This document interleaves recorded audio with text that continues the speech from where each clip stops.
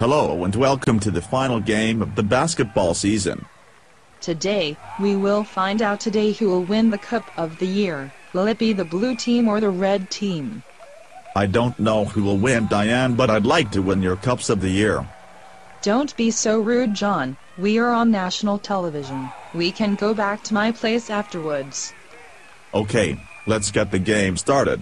The Blues have hold of the ball. But, no way the Reds have got it now and they are trying to score. No he missed. Now the Blues have the ball and they are going for a shot. The Blues have won and the season is over. We'll never see that again.